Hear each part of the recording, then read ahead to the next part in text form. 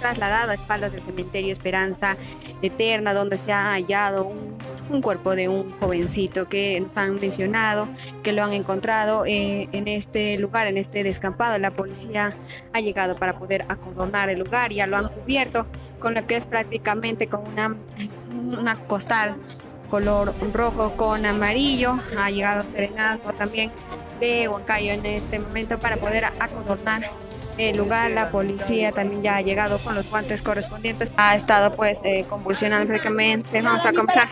Señora, usted se encuentra indignada porque después de la llamada no se han acercado serenazgos. Han brillado por señora. Sí, señorita, toda la vida es así los policías. Cuando uno les llama, les necesita, ¿acaso vienen? No vienen. Serenazgo, escuadrón, iguales. La misma tontería, no vienen. ¿En qué situación encontraron al joven? Boca abajo estaba el joven, ya el panadero, el vecino de la tienda que le ha encontrado a las cinco y media estaba vivo. Desde ese rato se les ha estado llamando. ¿Acaso han venido? No han venido. ¿A qué hora se unos habrían percatado el hecho? Desde temprano, señorita, desde las 5 que se ha salido a comprar. panadero quien había dado la alerta de este jovencito que se encontraba convulsionando.